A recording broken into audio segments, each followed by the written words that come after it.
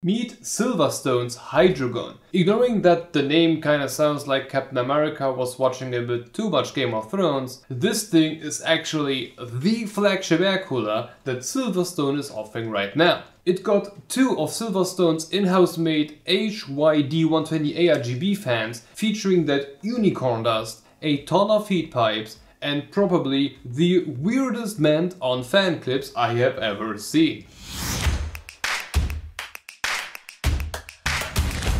So this is Silverstone's big boy air cooler, the Hydrogon D120 ARGB. Fully assembled, this thing comes at a pretty conservative 153mm height. And even the width is kept pretty small. The two relatively thin fin stacks that make this thing a dual tower cooler are roughly 30mm thick, making the Hydrogon one of the slimmest dual tower coolers we have seen until today at 112mm thickness. But no matter if thick or not, thanks to the Hydrogon's severe offset of the right fin stack, it never even approaches the RAM slots, making this thing a 100% RAM compatible cooler. The fans used on here are referenced once as being HYD120 ARGB and they do not seem to be available separately and therefore seem to be specifically made for the cooler. No matter if that is true or not, it's kind of my guess, these 120mm ARGB fans are spinning at 1850 RPM while pushing around 56.23 CFM at 1.98mm of H2O. So they are not the worst heatsink fans out there, but they are surely like the first point of improvement for this cooler overall. On the compatibility front, Silverstone's Hydrogon can be mounted on top of the usual AM4, AM3 and so on until FM1 on Team Red. Over on the blue side of the world, we can use it on the newest LGA 1700, 1200, every 1150, 1366, 2011, 2066 and even the ancient stuff like an LGA 775. The bottom of the cooler consists of one surprisingly big block of nickel plated copper base with a total of 6 copper heat pipes going from top to bottom on both fin stacks. Installing the cooler is a surprisingly easy process. For AMD, we first need to remove the standard retention bracket and replace them with the provided spacers and screw them in by using the double-sided screws with the thick side going in in the bottom. From here just position the back plate in an inwards pointing position and screw it down using the thumb screws. Over on Intel's side we need to use the provided back plate and position the screws into the hole on each end of the position marked with your socket. After placing the back plate behind the motherboard we can continue by positioning the spacers with the brackets on top in an inwards pointing orientation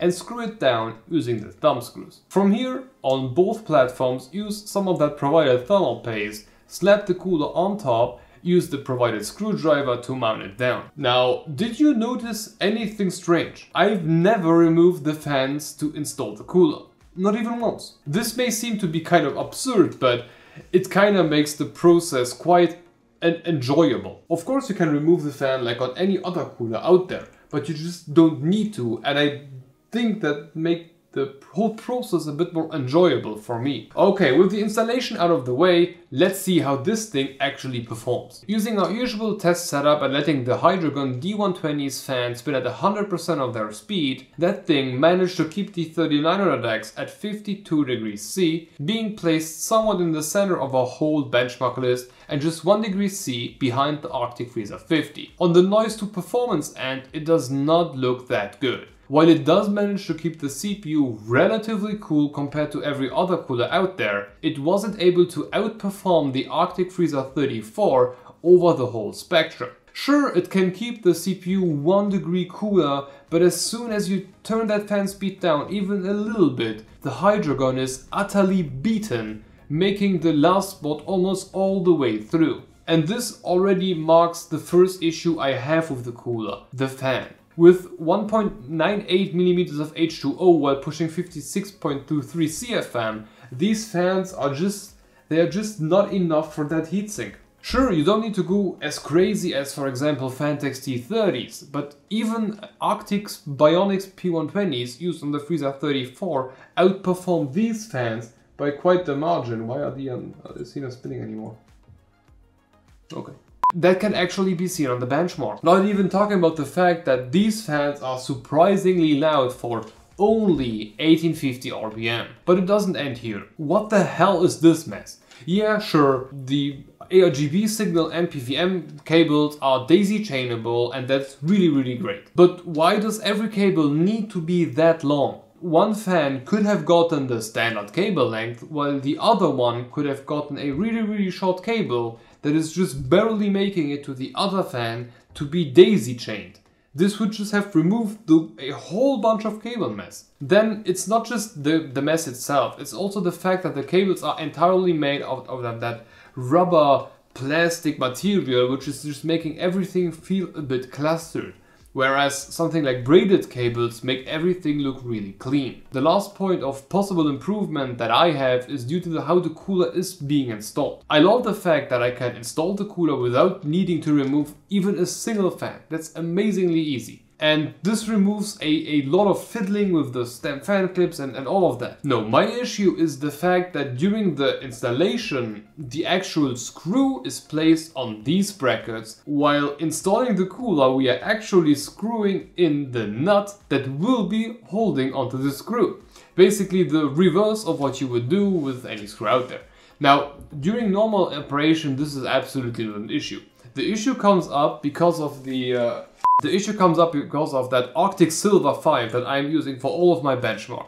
This thing is freaking sticky and due to that screw being always inside the nut on the cooler side until I pull that whole thing off in a perfectly straight angle, it may just end up ripping out your CPU. Of course, this is an AMD only thing and this will be probably over with the next generation of AMD when they get LGA sockets, but the fact that I am not able to give the cooler even the slightest twist during removal made me rip out my 3900X during the review twice. Very good job. And this is actually fairly easy to solve. Just make sure that the washer that is keeping the nut from falling out is letting the nut go far enough so that it can completely let go of the thread. And that way the heatsink is free to wiggle and you can give it like a very light twist before you put it off. So, to buy or not to buy? Well, the Hydrogon 120D RGB is clearly not the worst cooler out there. The RGB even looks kind of decent,